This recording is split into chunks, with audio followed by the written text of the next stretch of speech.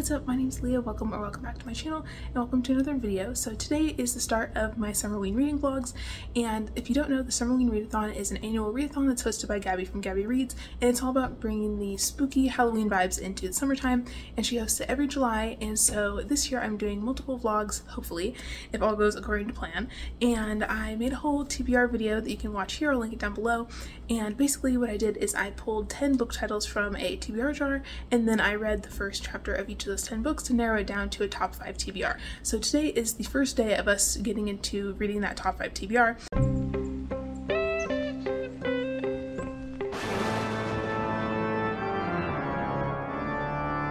And one of the first books I would like to start is Home Before Dark by Riley Sager. So this is a thriller about a woman whose family owns this really creepy house and when she was growing up they only lived there for like a month or so, and then they fled in the middle of the night because it was supposedly haunted.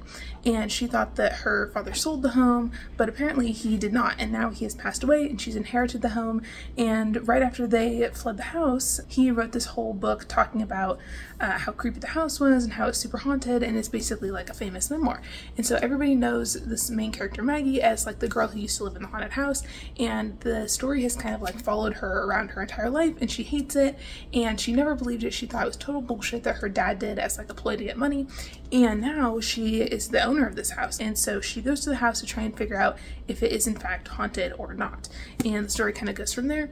And then the other book that I'd really like to get into in this vlog is called Another Kind. And this is a like middle grade graphic novel, I think. And it has a really cool art style. It's kind of like X-Men where it's following this found family group of young kids and they each have their own magical abilities and they're all orphans and they're kind of being like hidden away by the government because they don't want like society to know that there's these magic beings out there. And so those are the two books that I'd like to start in this vlog. Lies! Lies and slander! And we'll just see how it goes. And hopefully we can have like a fun spooky time. Maybe watch like some spooky movies, maybe go to the lake, hang out with my cat, and we're just gonna have a fun spooky week. So without any further ado, let's get into the reading vlog.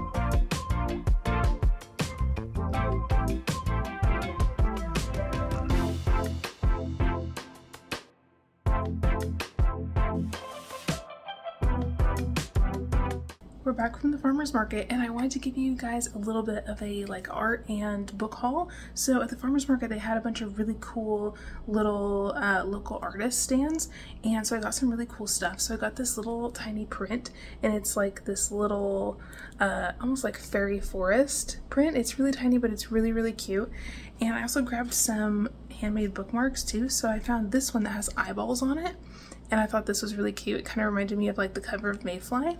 And I got this other one too that's this really cool liquid print. And I'm really excited about these because I think they're really cute. And then I also found another artist who does like printmaking stuff. And so I got a little card from her with the ladybug. And then I also got these little like canvas pieces. So I think I'm going to put them together and make like a little prayer flag kind of banner for my office. But I got one that's uh, the ladybug and I got another one that's this dancing lady that's really cool. I got this little funky deer with the eyelashes. And then I also got a guitar one. So I'm gonna make a little prayer flag thing out of these, I think, maybe like later tonight. And I'm really excited about that. And then I also want to do a little book haul because we stopped at the local bookstore on the way home, of course. Had to, had to do it. And so I got a few things. So the first thing I got is this little baby book. And so this is for one of the ladies at work who's pregnant and she's having a little girl this summer. And so I got her this little like finger puppet sunflower book because I thought it was really cute. And then I also got a graphic novel for me and it's called Plain Jane and the Mermaid. So this is a middle grade graphic novel and I got this because I really want to do like a mermaid reading vlog sometime this summer and so I thought this would be perfect for that and the art is really cool. It's kind of a little bit of a darker style and you can kind of see on the back of the book as well. It's really pretty and I'm really excited about it. And I also think that the mermaid stuff in here is pretty cool too. It's kind of giving the Little Mermaid energy a little bit that I was looking for, which I think is really fun.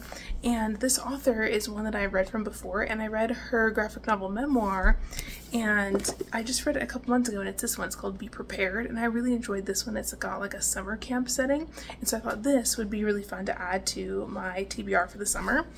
And then lastly, I got a book for my dad. So dad, if you're watching this, um, skip ahead for a sec. But it's this really cool like pie cookbook and my dad makes a lot of rhubarb pies and stuff. And so I thought it'd be kind of cool to get him like a really nice pie book from the store. So I got him that and that's kind of my little haul. But I also wanted to give you a little bit of a reading update and talk through the couple books that I've started and then also what reading prompts they're going to count for for the readathon. So I started two books. So the first one I started is Home Before Dark by Riley Sager. So my initial thoughts of this, I'm not that far in, are that the story is interesting and I'm into the haunted house ghosty vibes, but I'm not a super big fan of the characters.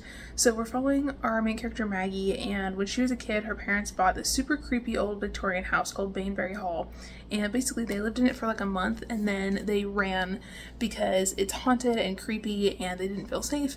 And her father ended up going on to write a whole story about when they lived in the house, and it ended up being like this famous bestseller of a book, and it's kind of like ruined Maggie's life in a lot of ways because she constantly lives in the shadow of this book because in the book she was depicted as this like really scared five year old girl, but she doesn't remember anything from that time in her life. And now her dad has passed away and she's inherited Baneberry Hall. And she thought that he sold the house years ago like before her parents divorced and turns out that he did not and he's had it all these years and he never told anybody. And so now the lawyer is giving her the keys to the house and he's like this is part of your inheritance like good luck. And she flips houses for work. And so i think she's probably going to move into this house and see what's going on because she thinks the whole story is bullshit that her dad just made up. She doesn't believe that the house is haunted. And the story kind of goes from there. But we also get to see the uh, flashbacks from her dad and these like excerpts from his book that he wrote about the house and when they were like looking at the house and how they came to purchase it and all that kind of stuff and I do not like her dad. Just from his POV, he gives me the ick a little bit. He is such a pompous asshole, and he talks about how he and his wife are having all these marital problems and they're fighting all the time, and so they buy this big fancy house in the hopes that it will like give them some more space, like away from each other.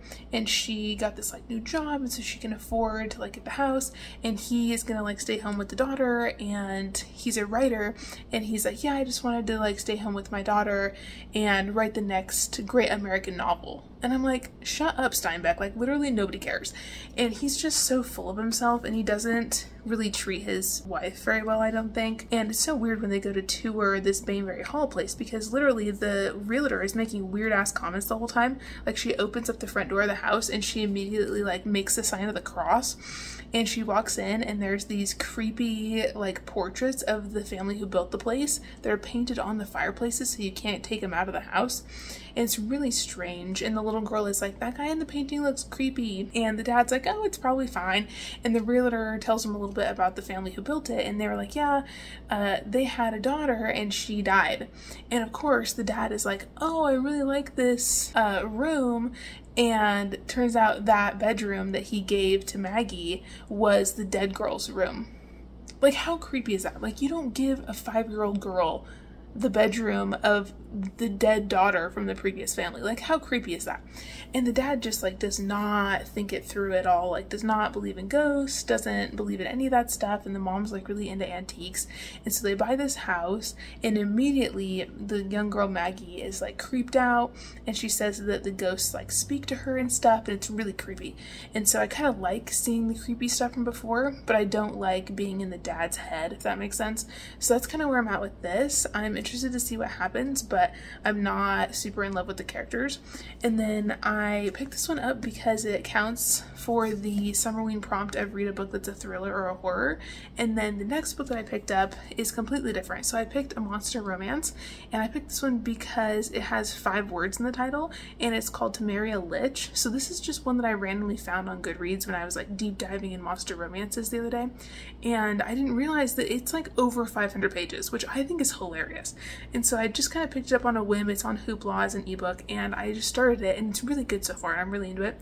And we're following this girl, Dahlia, and this is set in a fantasy world, and she's an elf, and she has found this old manor house in the woods that's like abandoned, and she figured out how to like sneak in the front gate, and in front of the house there's this big cemetery, and so she has a really bad home life. Her parents had passed away. She has a really evil stepdad who's trying to control her and like marry her off and stuff to try and like get her inheritance.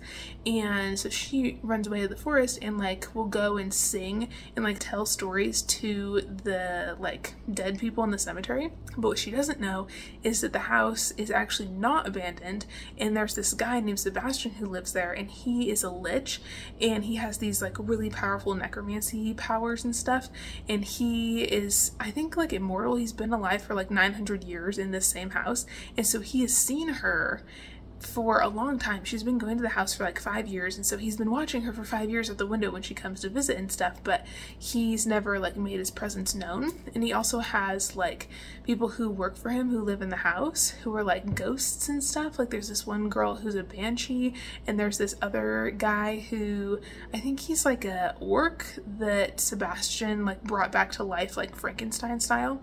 And so it's a really interesting group of people who live in this house, and they all kind of know about Dahlia. And I think that Sebastian kind of is down bad for her because he's been watching her for a long time out the window and she doesn't even know that like he exists or anything. And so the story kind of goes from there because they end up, hi Rigby, and he, oh yeah, are you gonna tell the synopsis or do you want me to tell it? Anyways, so the guy Sebastian ends up introducing himself to Dahlia because one day she runs into the cemetery and she's being chased by this man. And one of her creepy stepdad's like little henchmen tries to propose to her and she turns him down and like laughs in his face because Dahlia is like total spitfire and she doesn't take any shit. And he comes after her and tries to kill her. And he tries to kill her on the lich's property. And so the Sebastian guy the lich gets really really pissed and he like takes the guy out and saves Dahlia, but she gets knocked out. She doesn't know what happened to the guy, and the lich is basically like, you know, come into the house, like all, you know, make sure you're okay and everything. And his uh, like employees help her and like give her like a warm bed to sleep in and like help her shower and like get into dry clothes and stuff because the creepy guy tried to drown her uh, on the property and it's really interesting. And so sebastian is immediately like this girl is like mine.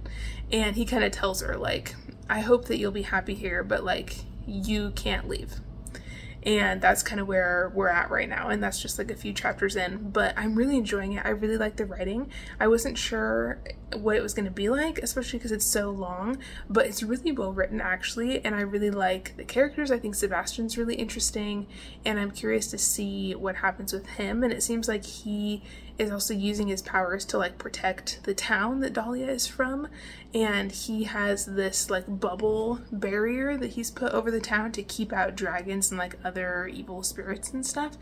And so he has a lot of power in this world. And so I'm not sure if he's gonna like help her get away from her stepdad or what. That kind of seems like it's the vibe. But he's definitely super powerful. And Dahlia can like sense that he's really powerful. And he also wears this big like uh, witch doctor like bird mask thing. So she's never really seen his face but she's not scared of him even though he's really powerful and she is an elf but she doesn't seem to have any powers. And so she can sense his powers but she doesn't have anything that she's working with. And he can also see auras. And so he can see that she's like a really sweet like happy person. And he's trying to make sure that if he basically like takes her as his like mistress or bride or whatever his plan is he wants to make sure that she's like happy in the house. And so he tells his assistant the ogre guy that they're going to do this scientific uh, research project to collect data on a hypothesis. And the assistant's like what are you talking about? And he's like i need to find out if she can be happy here and it's really cute and tender. So I'm excited about this guy, Sebastian the Lich, because he seems like he's got some interesting magic powers and he obviously like cares about her. But on the other hand, he doesn't want her to leave, which is a little weird and he's a scientist and he's got like some Frankenstein laboratory vibes going on in the basement of this manor house. So I'm interested to see what happens, but I'm really enjoying it so far. I highly doubt that I'll finish it in this uh, whole Summerween week because it's so long, but who knows? Maybe I'll get super into it and just like binge the whole thing. But both of these books count for some of the reading prompts, so that's good. So we're already making some headway, and I think tonight I might try to do the read in a dark prompt because I've been reading the ebook of uh, How to Marry a Lich on my phone anyways, so it's not going to be hard for me to like read that in the dark and like hit that prompt. And then we're already like hitting three prompts right off the bat. So that's pretty cool and I'm excited about that. So I think I'm gonna go do some more reading and I will update you when I've read something else.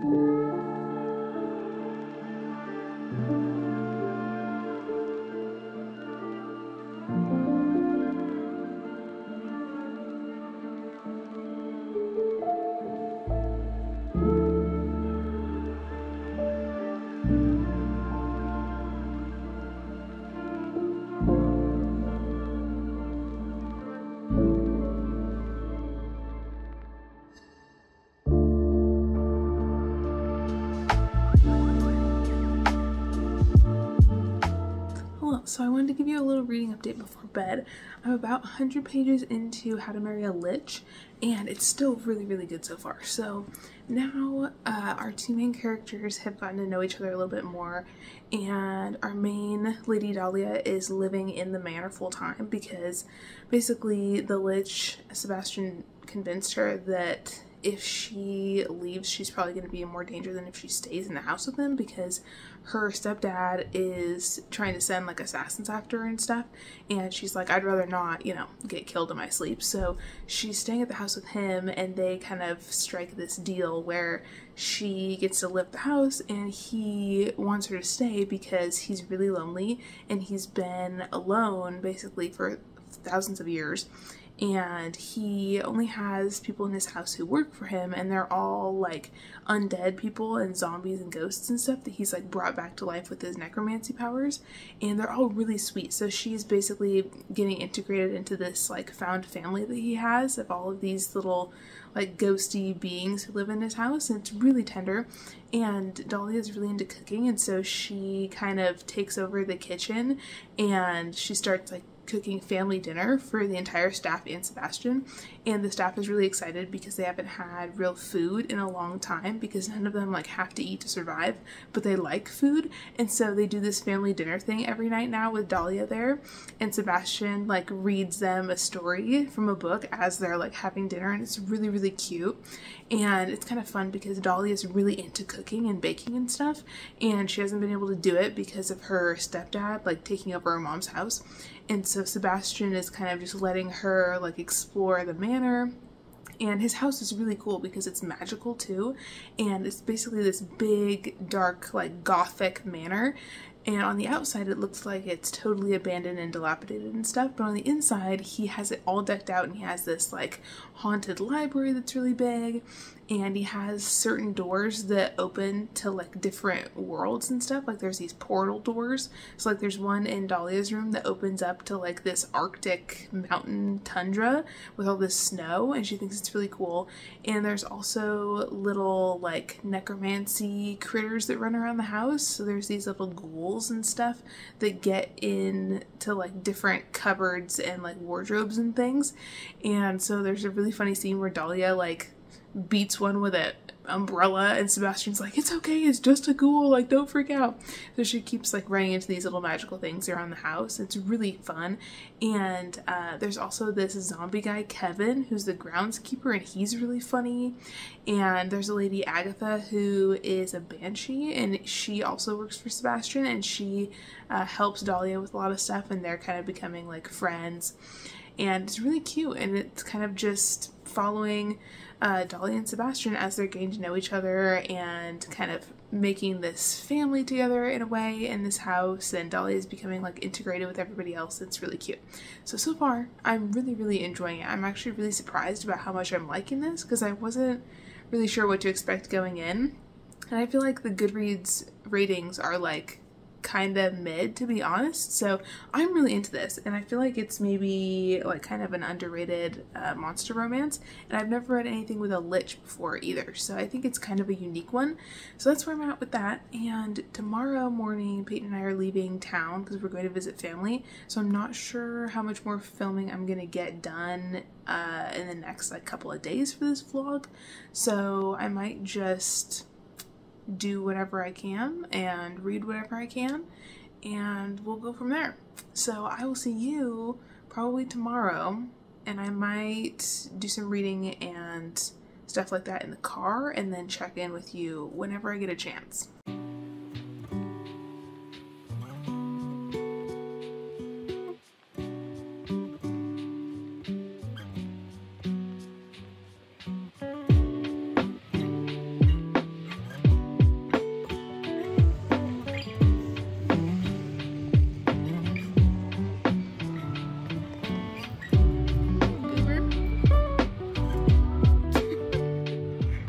Hi, quick reading update. So I read a little bit more of How to Marry a Lich. Sorry if you hear fireworks going off. Uh, and I am really enjoying it so far. I think it's really cute the way that um, the Lich Sebastian treats Dahlia really, really well, and it's pretty clear that he's been like watching her for the last five years as she's been running around in his yard without knowing it, and he's already like really down bad for her, but he doesn't really want to tell her that he's into her because he doesn't think that anybody would ever want to be with him because he is really like kind of has low self-esteem and he wears this witch doctor mask all the time so that nobody can see his face because i think he is some other kind of creature originally because dahlia says that the only way to become a lich is to um, have this like spell put on you and it's really dangerous and a lot of people don't survive it. And so he has green skin. And so she said usually people who have green skin in this world are either like fae or they're an orc or an ogre or something like that. And so she's not sure what kind of creature he was before he became a lich, uh, but he wears like the mask all the time and doesn't want her to ever see his face or anything. And he also wears clothes that cover like all of his body, and so he's really secretive about like his physical appearance and stuff. And so I don't think that he feels like she could love him if that makes sense and so he's really into her, but he doesn't really tell her that. And now Dahlia is at this point where her evil stepdad is trying to assassinate her and stuff, so she's staying with Sebastian. But they go back into town, and Dahlia wants to go and see her best friend Beatrice. Well, she has this betrayal that happens around Beatrice, and uh, Dahlia realizes that like she really doesn't have anybody that she can trust. And basically there's a clause in her inheritance that says she can't get her inheritance from her mom until she gets married. And she doesn't want to marry anybody though, and so she hasn't gotten it, but also her stepdad is trying to kill her uh, to get it. But there's also this clause in the inheritance that if she dies, then the armory uh, that has like this vault with all of her inheritance in it is supposed to be burned. And so her stepdad is trying to like get around that and force her to marry somebody so that he can get her inheritance. And it's like a whole thing. So uh, Dahlia is talking to this magical lawyer guy that Sebastian has. And the lawyer recommends, like, hey, if you really want to be free of the situation with the stepdad, then you should marry Sebastian. And Dahlia is like actually considering getting into this like marriage of convenience with Sebastian because she's like that would solve my problems because then I could get the inheritance and I could put the inheritance in Sebastian's magic manor and then her evil stepdad wouldn't be able to get it. And so she's kind of thinking it through and the lawyer knows that Sebastian has a crush on her and like all of Sebastian's staff knows and he like won't admit it that he's super like down bad for her. And so I think we're about to get to a part I think where she's gonna like propose to Sebastian or like mention it to him. So I'm excited to see what happens with that. It's going really good so far. And also, I started another book in my last vlog, and it's called Swift and Saddled by Lyla Sage, and it's a cowboy romance. It's the sequel to Done and Dusted. And originally, I wasn't gonna pick that back up for Summerween, but I am buddy reading it with my friend Allie from Allie Does Read, and she's great. And uh, she just got the ebook, and so I think we're gonna read that together. And I was thinking that that book also counts for one of the Summerween prompts because it has this like night sky on the cover, and that's one of the prompts. So I think I might also pick that back up tonight and read some of that on my iPad. That's kind of what I'm thinking. If I don't fall asleep super early because I am tired. Uh, but that's kind of where I'm at. And then in terms of the summer Summerween reading prompts, technically I've already hit a few of the prompts because I did the read a book in the dark last night when I was reading on my iPad. And then if I do uh, reading Swift and Saddle, then that takes care of the read a book with a night sky on the cover. So that's two prompts down. And then if I'm reading Home Before Dark, I still need to read some more of that. That counts for read a book that's a thriller or horror. And then reading How to Marry a Lich counts for read a book with five words in the title. So that's already hitting four of the five prompts just in a couple days. So I feel pretty good about that. I'm doing really well with that. So that's where I'm at. And I'll update you when I've read something else. Hi, Tootsie Roll. Hi.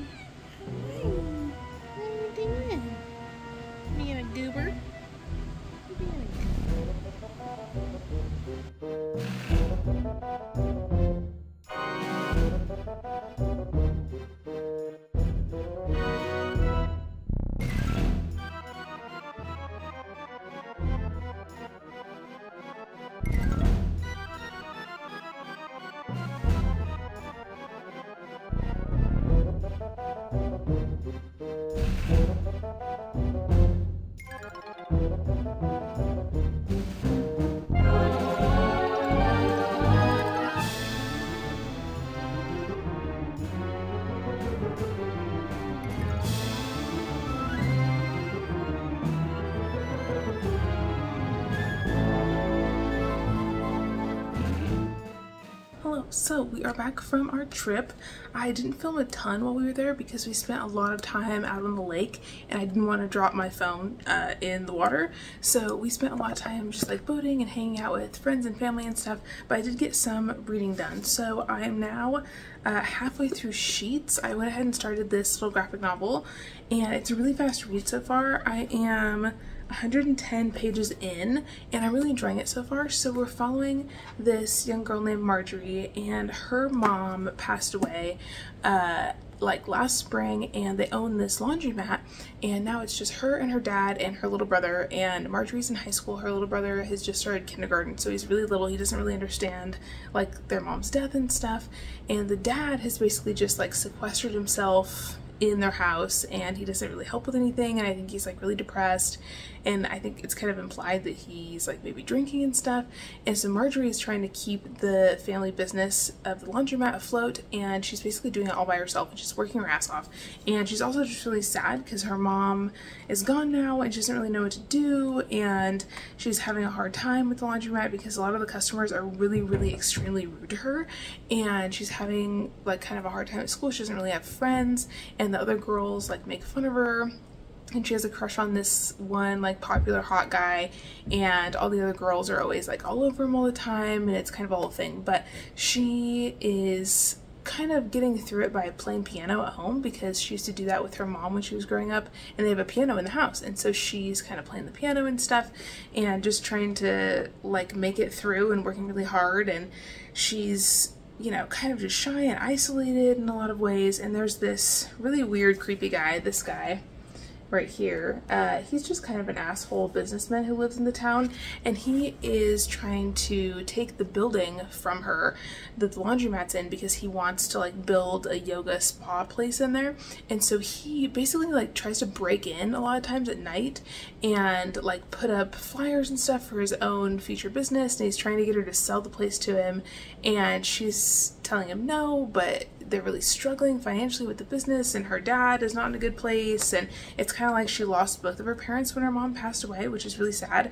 And so we have that storyline and then we also have this other storyline with this ghost named Wendell and Wendell is basically in this kind of like an afterlife place I guess for ghosts. And this is what it looks like. Basically there's like all these little cabins where all of these ghosts live. And all of the ghosts are the ghosts of uh, like young people who have passed away. And so Wendell decides that he is like tired of being around the other ghosts and he basically takes the train back to the human world and you're not supposed to do that unless it's like an emergency or something.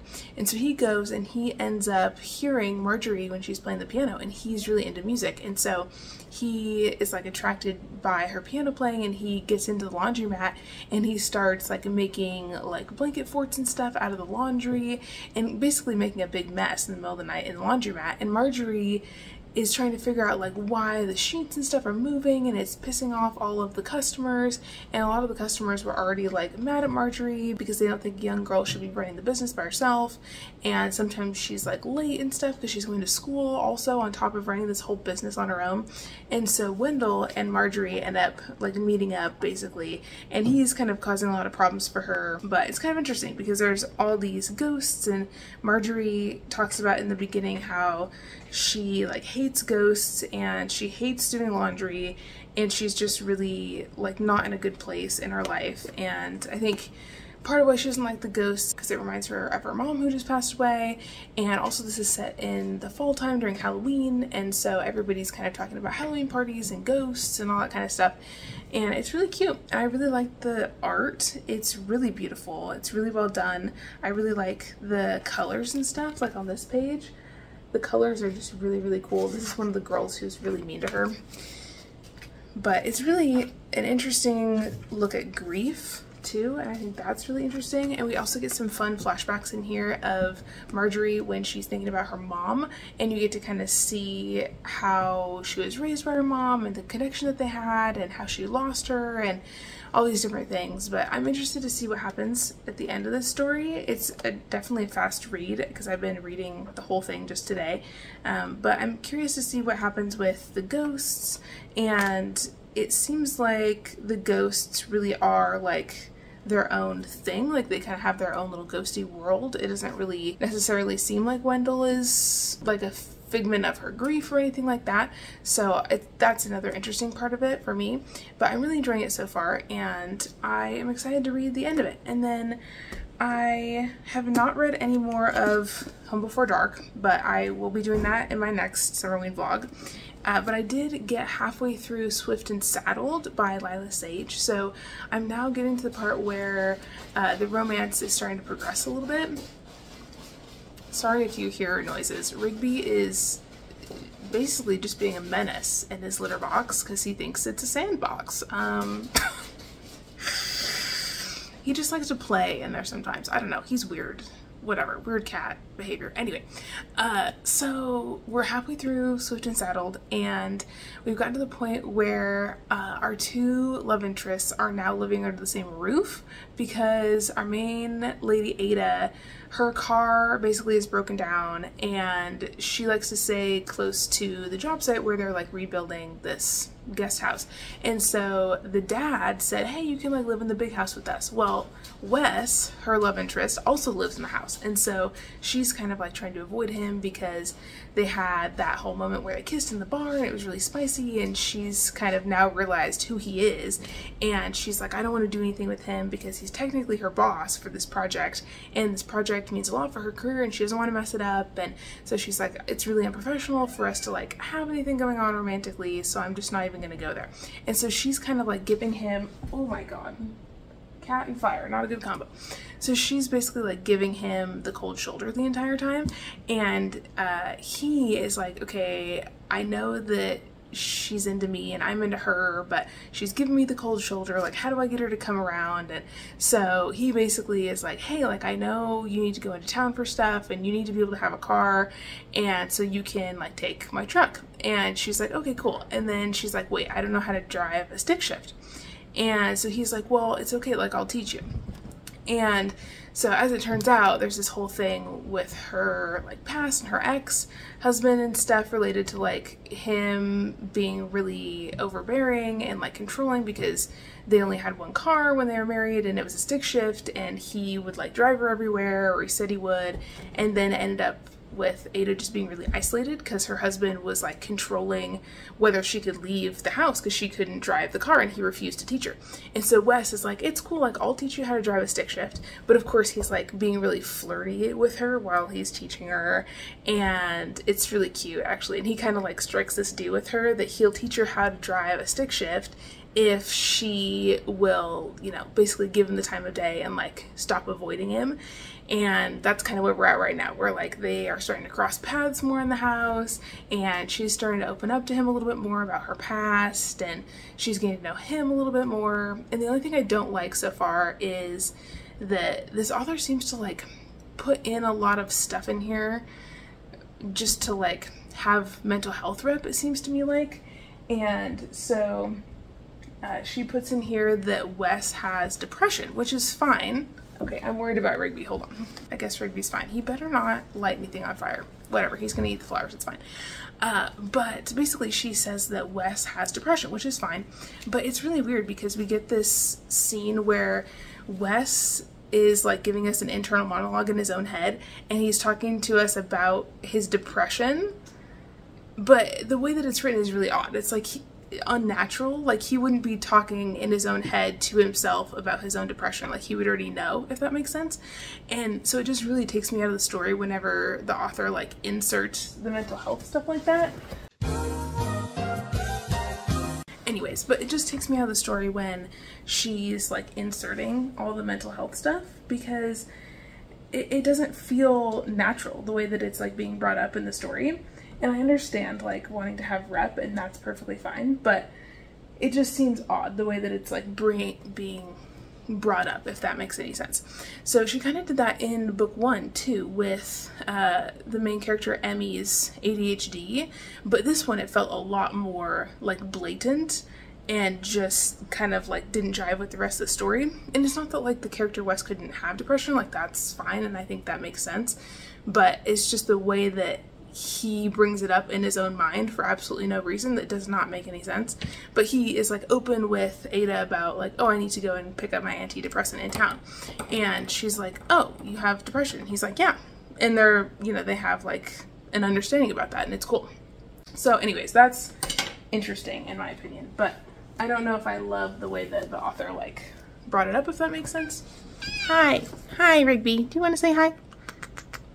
Anyways, that's where I'm at. So that's all I have for this vlog. To recap, I read half of Sheets, uh, the beginning of Home Before Dark, half of Swift and Saddled, and probably a quarter of Temeria Lich. And I'm really enjoying everything that I've been reading so far. And so that wraps up the first part of my Summerween reading vlogs. Hopefully I'll have another vlog up for you guys soon. And thank you so much for watching, and I will see you in another video very soon. Make sure to let me know what spooky books you've been reading for Summerween down below, and don't forget to like and subscribe if you want to see some more spooky videos from me. And I will see you in another video very, very soon. Bye! Música